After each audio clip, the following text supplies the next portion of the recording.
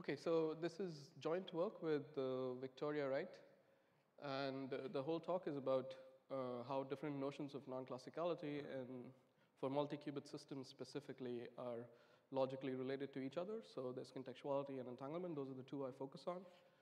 Um, but there are others, obviously. So, so the, the, the focus of the talk is multi-qubit systems, so n-qubit systems, where n is whatever finite number of qubits. And um, um, so you can think about a composite notion of non-classicality, something like entanglement. So you need at least two systems to meaningfully talk about entanglement. Uh, Bell's theorem, you need at least two parties doing some uh, local measurements to talk about it. So these are composite notions of non-classicality.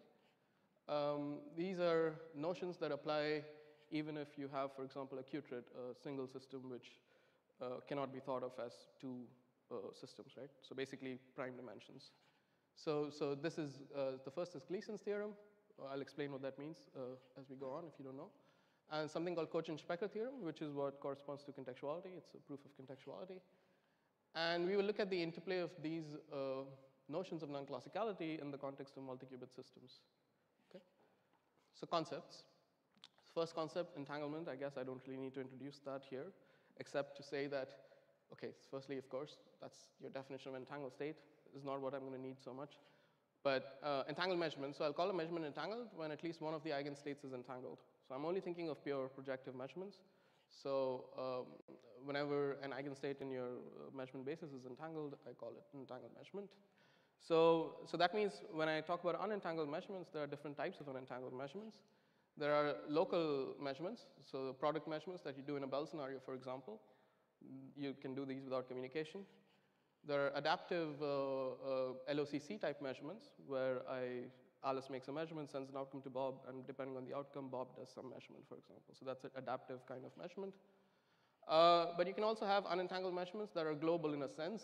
So these are non-adaptive. You cannot implement them with LOCC. They're kind of like separable operations that are not LOCC. Uh, so, but they also don't require entanglement. That's kind of interesting there. So this distinction between LO and the other kinds of measurements will become relevant later. So that's why I'm just mentioning that now. Uh, and Bell's theorem, um, uh, I, all I need is for you to recognize that Bell's theorem is the statement that product measurements on some entangled state can violate Bell inequalities, uh, that is, achieve correlations that you cannot achieve with classical shared randomness. I'm not going to say much more, but that's basically what Bell's theorem is, right? Um, okay, Gleason's theorem. I'll spend a little bit more time on this because this may be a bit less known. So uh, Gleason's theorem, essentially the, the conceptual core of the theorem says that the structure of measurements in quantum theory, projective measurements in quantum theory, gives you the structure of states.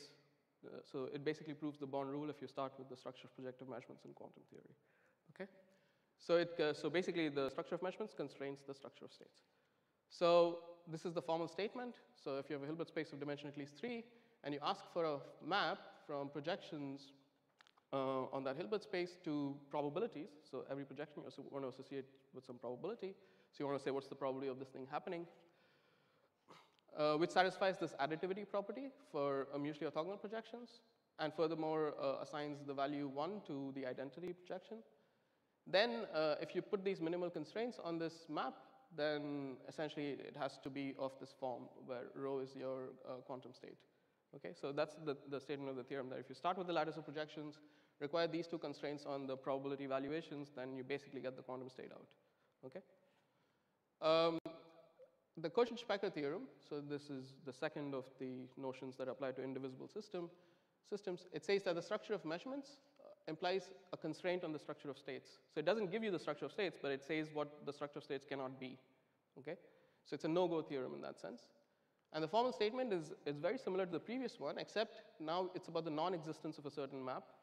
Now, uh, instead of asking for a map from projections to probabilities, I'm asking for a map from projections to deterministic assignments of prob uh, deterministic probabilities, right? Zero or one. So you're saying whether a projection clicks or doesn't click.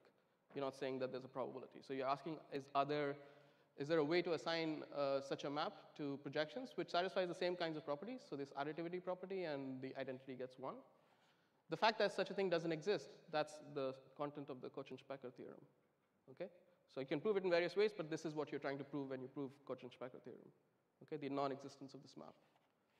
Um, so it's easy to see that Gleason implies Kochen-Specker because if I if I, the structure of measurements gives me the structure of states, then I know that you know uh, there's no quantum state that gives me deterministic outcomes on all possible measurements.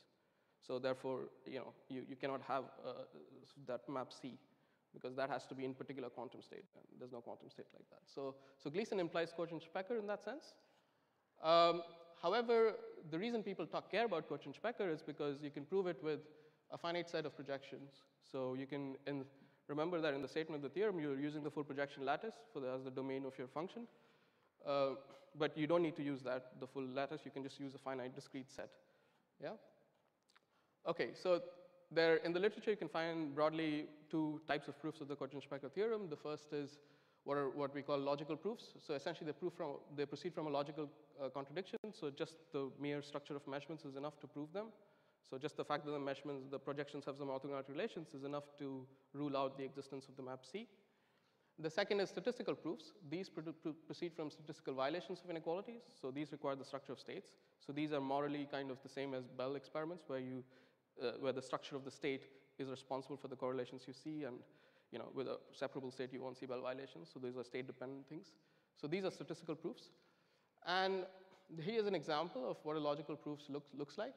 So here, uh, the vertices are, uh, for example, uh, four-dimensional projections, like on a, on a four-dimensional space. And it's, it consists of 18 vectors, uh, which are carved up into nine different measurements. So this is the first measurement, second, third, fourth, fifth, sixth, seventh, uh, whatever, eight, ah, whatever. It's, it's nine, nine edges, okay? The, the key point is that you cannot assign that, define that map C that maps each of these vertices to a value one or zero. So if you try to color this in a way that uh, assignments of ones and zeros that add up to one for each loop. That's impossible. And one way to see that is that if you were to ask for such assignments, then there are nine measurements, so you need to assign at least nine assignments of one. However, each projection appears in two bases, so that means the number of ones has to be even. So an odd number cannot be an even number, so therefore you have a contradiction, and uh, that map C doesn't exist. Okay, so here's a no-go theorem, which uses a finite set of projections. Uh, here's a statistical proof where essentially now it's not, a, it's not that sort of a no-go theorem where you do not have any colorings. You do have colorings, but the colorings respect some uh, linear constraints. So these are, for example, the Kochen-Specker inequalities, or uh, these are more mathematically the same thing as Bell inequalities, except now you can talk about for one, a single system. Um, so here, for example, uh, if you try to look at deterministic assignments to these guys, None of them uh, can achieve a value greater than 2 for uh, these five vertices, 3, 4, 5. Okay? So it's just, just the, the main point is that it requires you to prepare a special state and do those measurements on them. Okay? Um, and this is a more famous, perhaps, proof of the Kochen-Specker theorem, which is about uh, assigning values to uh, um, two-qubit uh, Pauli measurements and asking if you can make consistent value assignments. So you can also motivate it from the existence of that map C because uh, it kind of, in some sense, implicitly assumes the existence of that map C. i will not do the translation. It's in the um, appendix of our paper if you want to look at it. But the point is that if, you want, if I want to assign a value to one of these operators, I assign either plus 1 or minus 1, so something from the spectrum of that operator. Okay? And when I assign these valuations, if I assign a value to each of these operators, then the values assigned to them must respect the, uh, these constraints. And these constraints follow from asking that, for example, the identity is assigned the value 1, because that's the eigenvalue there, right? So, um, so you, you get these constraints. And essentially, there, there exists no solution to this system of equations that is valued in plus 1 or minus 1 in the spectrum. Okay? So if you take the product of these guys, because each of these operators appears in two different commuting, ah, sorry, so the rows and columns here are commuting subsets of observables. And uh, each observable appears in two commuting subsets. And that's why each observable here will appear in two different equations. And uh, essentially, you have, uh, you have to respect these product relations. And so if you take the product on the left-hand side, you get plus 1 because every term appears in two equations. On the right-hand side, you get a minus 1. Um, and uh, so you know that there's no such solution. And this is, this is Peres-Mermin. And one key thing to note is that Peres-Mermin requires entanglement. So if you were talking about measuring this, measuring these three observables together simultaneously, then the basis in which you measure them has to be the Bell basis, right? Like it's a, you have to do the most fine-grained measurement you will do is the Bell basis, and you coarse grain it to recover these three observables. Okay, that's what it means to do a joint measurement of these three in some sense. Um, so it requires entanglement, and we want to ask if this is just an accidental feature or if, it, if it's kind of systematic. So now we come to results. Um, the first result is the necessity of entangled measurements. So any logical proof of the Kochen-Specker theorem on a multi-qubit system necessarily requires entangled measurements. So it's not an accidental property of the Peres-Mermin square, but in fact, any such construction that you, which proves the non-existence of that map C, the deterministic map C, on a, multi, on a set of multi-qubit projections, must include in the domain, like necessarily, the, uh, an entangled projection. Essentially, you, you cannot prove it with just product projections. Okay? So that's kind of the statement, that any logical proof requires uh, measurements in entangled bases. Uh, this is interesting partly also because uh, unlike Bell, you have more measurements available to you, unentangled measurements available to you in, in a Kochen-Specker setup because in Bell you just do your local measurements and that's it. But in Kochen-Specker, uh, there's no constraint on how these measurements are done. So you could include LOCC measurements, you could include the non-LOCC ones, uh, but still unentangled. But they don't offer any advantage over, over, over these uh, measurements in, in, in, logical proofs of Kochen-Specker. Okay? Um, so presence, so that's, that's what I meant. Uh, the presence of entanglement is not an accidental, it's uh, in fact necessary in any such n-qubit proof you might want to construct. Uh, the second statement is about statistical proofs of the Kochen-Specker theorem, which is that any statistical proof of uh, the theorem on a multi-qubit system, again, multi-qubit system is important, uh, with untangled measurements necessarily requires an entangled state. Okay, so again, if you think of doing preparing some multi-qubit state and doing some uh, measurements on it, um, unentangled measurements, they could be global but still have to be unentangled. Um, it necessarily requires that you, the state must be entangled. Um, so that raises the question if entangled states are sufficient for such a proof. Okay? Uh, so they're necessary, but are they sufficient? And uh, the answer to that comes from this observation that, um, uh, so this is again uh, another result, which is that a multi-qubit entangled states will give you a statistical proof of the Kochen-Specker theorem if and only if vi it violates the Bell inequality. If, in fact, under just local measurements, you can violate a Bell inequality. Um, uh, so it's an if and only if, uh, then, then uh, you know.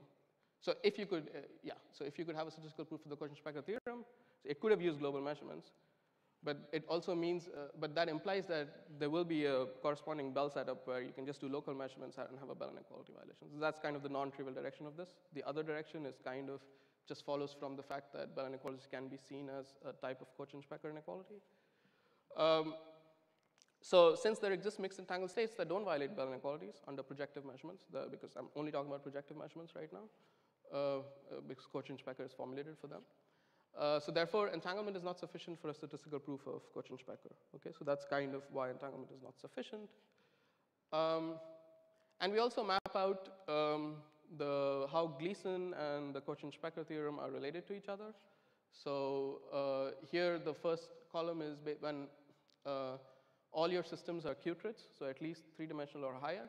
And we are only looking at unentangled projections. So in the domain of that function or that uh, f or the map C, we are only assuming that you have uh, unentangled projections now instead of the full projection lattice. And the question is, is that enough to constrain the probability rule to the quantum rule, right? Or, or to rule out the deterministic map C. Um, so for when, when you have qubits in, um, uh, throughout, then uh, you, know, you know you can prove Gleason because you can prove it for a single qubit. Obviously, you can prove it for many, many qubits. And uh, Kochen-Specker as well, you can prove this is all known. The purple stuff is what we kind of, in some sense, prove. The main result is really the third column where we show that Kochen-Specker cannot be shown with unentangled uh, projections. And so therefore, you cannot prove Gleason with an unentangled projection. So basically, if you can't prove Kochen-Specker, then you can't actually prove Gleason, okay? Because one implies the other. Gleason implies Kochen-Specker. And this is, the, this is the kind of the mixed case where you have qubits throughout, but you may have some qubits and high dimensional systems thrown in, the middle. Uh, and there you cannot have Gleason with unentangled projections, but you can have Kochen-Specker. Okay? And direct here just means that you just take product bases. Like that's, that's what we mean here. Um, okay, so those were like four observations about how these things are related. And the final observation is about how this says a little something about this model of quantum computing called quantum computation with state injection, where essentially you look at a set of, so this was proposed by Bravyi and Kitaev, and essentially take um, uh, uh, the stabilizer subtheory of quantum mechanics, so uh, stabilizer circuits, which you can efficiently classically simulate, and then you lift them to lift the circuit to universality by adding some uh, uh, special states called magic states in the literature. Uh, and an open question has been to figure out, you know, what characterizes these magic states. We know that they have to be non-stabilizer, but can we say more? Like, what kinds of non-stabilizer states are magic states?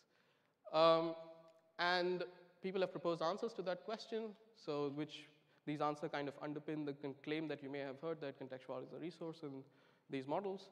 So, um, so this was kind of the paper that uh, led to a lot of um, interest in this, in this direction.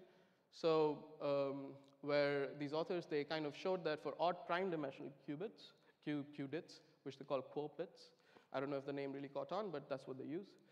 Um, uh, it fails, uh, so, so it works for QUOPITs, so it's true that you know, your magic state must necessarily allow you to have a statistical proof of the Kochen-Specker theorem with stabilizer measurements. So, so with stabilizer measurements, it lets you prove the Kochen-Specker theorem. So that's the sense in which contextuality supplies the magic here.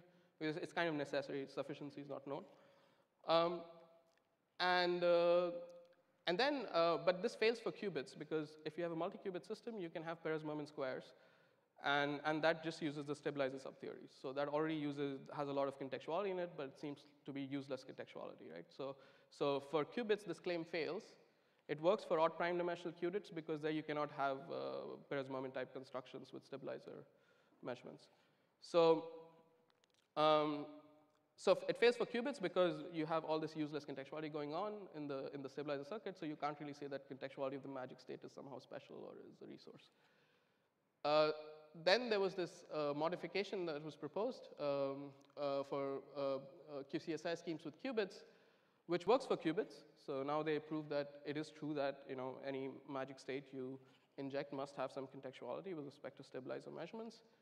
Uh, but it requires some ad hoc restrictions. It basically, they have to modify the scheme, this general scheme of QSESI, some, impose some restrictions on it, and then they're able to show that the uh, input state must carry some contextuality. Okay? Uh, these restrictions are designed in such a way that they rule out uh, the possibility of constructing logical proofs of the Kochen-Specker theorem using just stabilizer measurements. Okay? So they, they seem ad hoc because they basically amount to just saying that there exists a state uh, without contextuality with respect to available measurements in the scheme. That's kind of the general uh, restriction they put. So when you put this uh, um, restriction, it just basically means that there exists a state which is non-contextual with respect to all measurements kind of thing. And if you have a Peres Mermin construction, then there's no such state, right? So this, this kind of by fiat rules out that construction.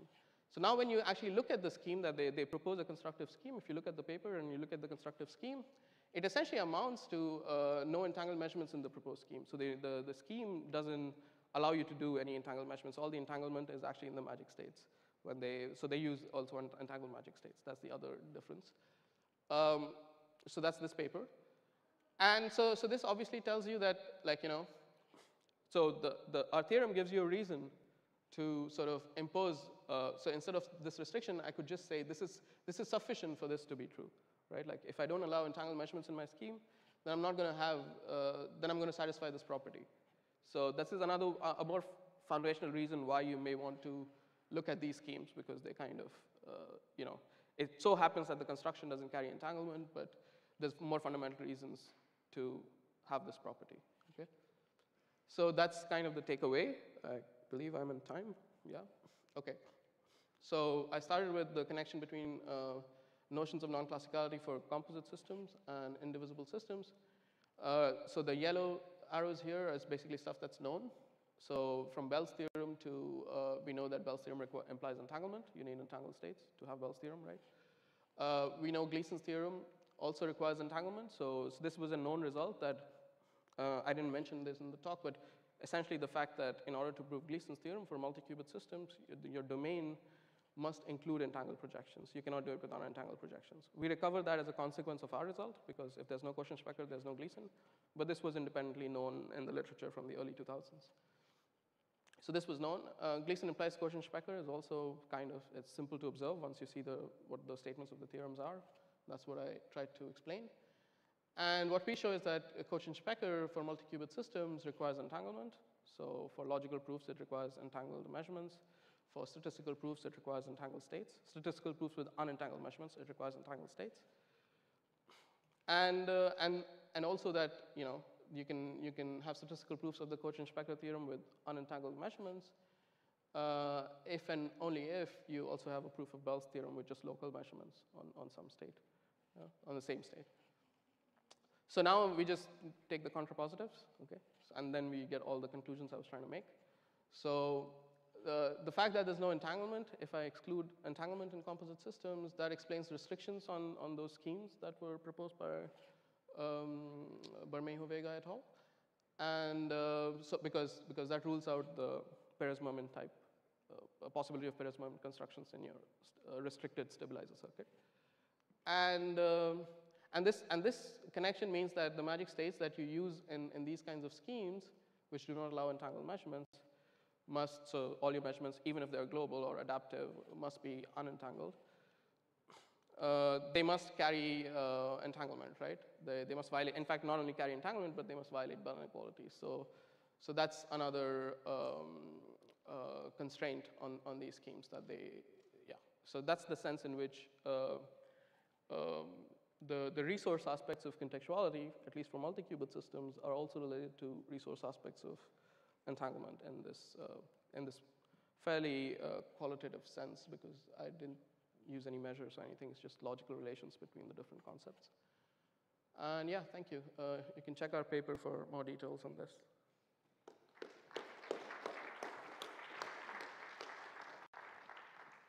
Thank you very much. Uh, time for questions.